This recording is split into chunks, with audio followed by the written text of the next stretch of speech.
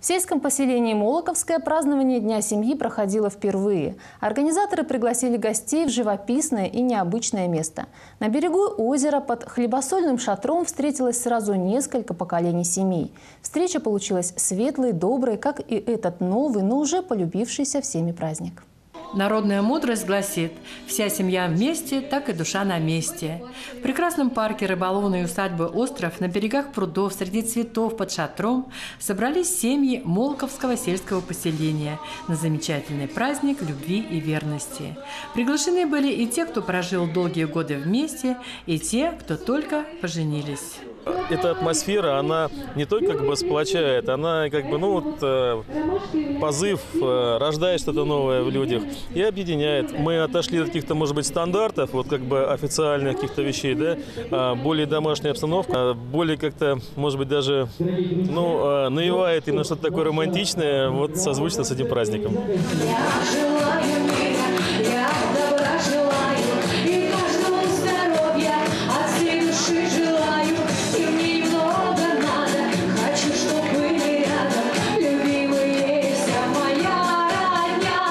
Вырастили троих детей, пятеро внуков. Помогали и помогаем. Сами э, растили, как говорится, без бабушек, без дедушек. Делали все вместе. Как говорится, и отдых, и работа, все делали пополам. Светлана – одна из дочерей Читы Архиповых. У нее тоже замечательная семья и надежный муж. За 7 лет совместной жизни, да, нам Господь подарил три сына. Я как, как бы благодарен, да, в том плане, что помогает, поддерживает, и как бы мы точно так же дружные.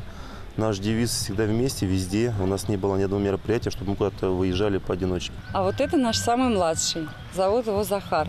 Нам год и три месяца. Если бы не супруг, я не знаю, решилась бы я на третьего ребенка или нет, потому что помогает он полностью с детьми, тем более у нас три пацана. Здесь папина роль, она самая основная. Трое детей и у семьи Тарасовых.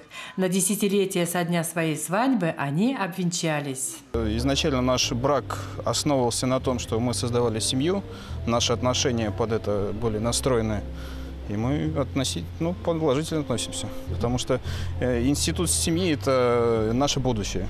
Первый помощник во всем. Я считаю, что мужчина все-таки определяющую роль играет.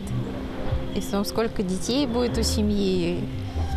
Потому что без поддержки, конечно, женщина вряд ли решится. Как в большой дружной семье, когда за общим столом собираются все поколения, хозяйки готовят свои любимые блюда. Так и здесь, на празднике, оставалось только удивляться фантазии милых женщин. Песни, конкурсы, поздравления звучали в этот день. Для молодоженов Александра и Татьяны все впервые, и совсем скоро у них будет малыш. Праздник у нас э, это в первый раз отмечают такой. Ну, очень приятно было, потому что позвонили и как бы пригласили. Цветочки, все очень хорошо и вкусно. Нам очень понравилось. Людмила Медведева, Евгений Петров, Елена Кошлева, Видное ТВ.